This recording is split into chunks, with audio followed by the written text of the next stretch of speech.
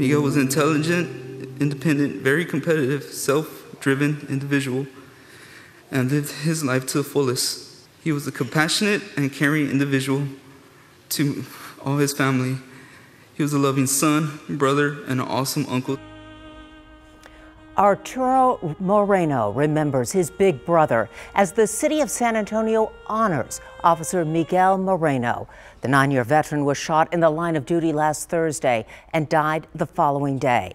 He is the 55th San Antonio officer to be killed in the line of duty since 1857. For the second time this year, Community Bible Church, the setting for our city's final salute to a fallen San Antonio police officer. Among those paying their respects, the officer who was wounded in the attack that took Moreno's life. Eyewitness News reporter James Keith is live at Public Safety Headquarters to show us how Officer Moreno was remembered. Well, Deb, music and prayer helped set the tone for this somber event. There were a lot of people there today. We heard from the Texas governor, the mayor, the police chief, and Officer Moreno's brother, a San Antonio police officer.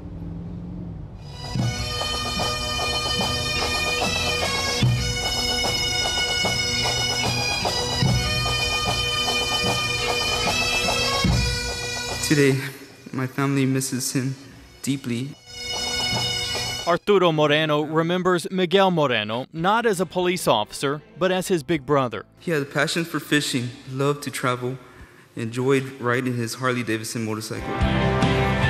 He was a compassionate and caring individual to all his family. He was a loving son, brother, and an awesome uncle to his nieces and nephews. Colleagues and dignitaries, including Texas Governor Greg Abbott, offer words of condolences and support to the Moreno family and Officer Julio Cavazos, Moreno's partner, who was also shot on June 29.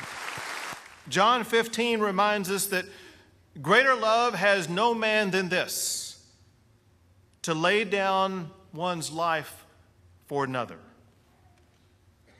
And Matthew 5 reminds us that blessed are the peacekeepers, for they will be called children of God.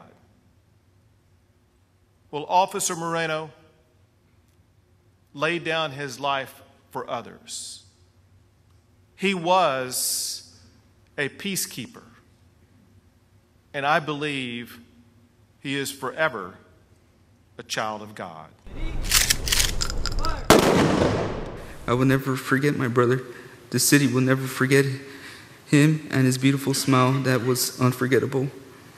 Thank you, Miguel, because you were the most important person in my life.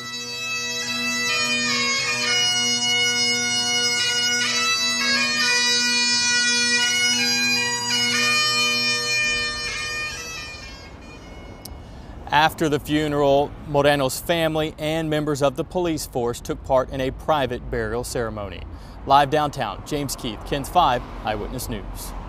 Thank you, James. Hundreds of grateful San Antonians lined the bridges and overpasses along the funeral procession route on Highway 281. With their tears and their silences, they showed the Moreno family the sacrifice of Miguel is appreciated and honored.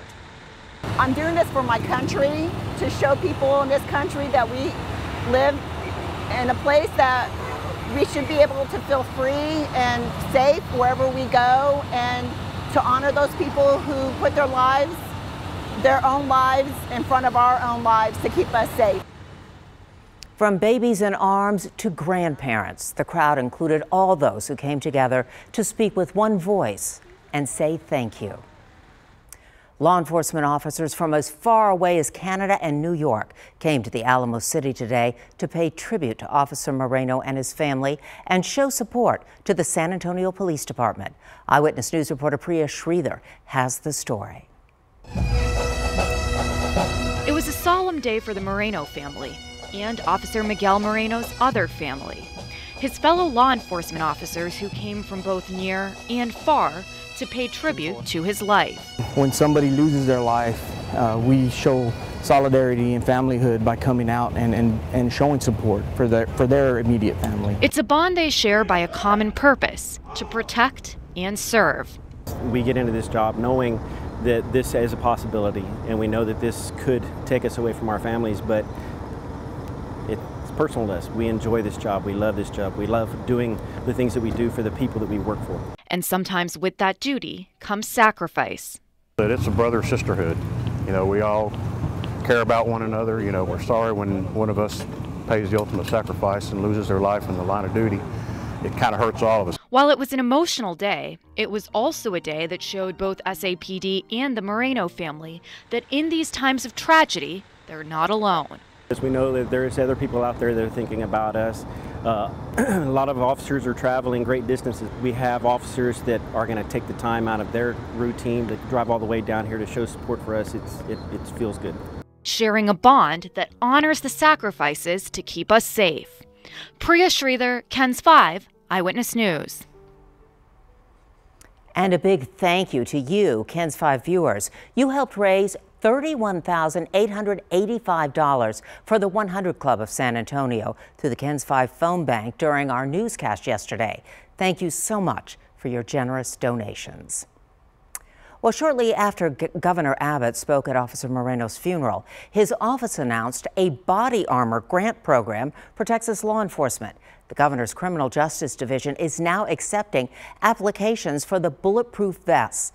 In a statement, the governor said the men and women who put their lives on the line to protect Texans deserve the greatest protections. Senate Bill 12, which funds the $25 million statewide grant program, was passed during the 85th legislative session.